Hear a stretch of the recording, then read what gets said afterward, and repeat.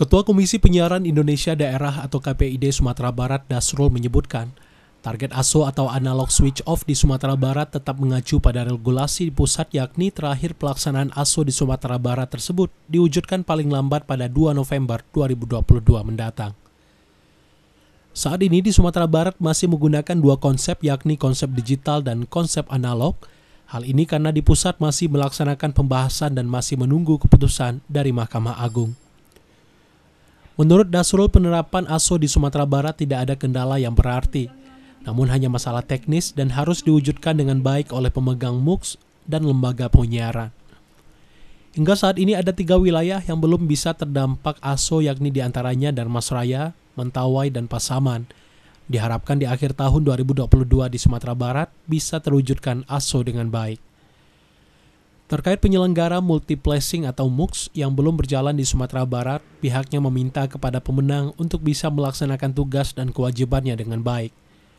ASO di Sumatera Barat saya pikir tidak ada kendala yang cukup berarti karena memang sesuai dengan regulasi yang ada di uh, pusat.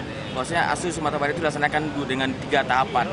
Tahapan satu itu uh, dilaksanakan dengan percobaan, tahapan dua hari ini di oleh pemerintah pusat dimundur menjadi uh, menjadi tahapan yang yang yang yang terakhir saja itu di bulan November. Jadi saya pikir masalah-masalah tentang ASUS Sumatera Barat itu adalah masalah teknis dan itu saya pikir harus diwujudkan dilaksanakan dengan baik oleh pelaksana pemegang MUK dan juga oleh lembaga penyiaran. Jadi, akhir tahun ini target kita betul ya?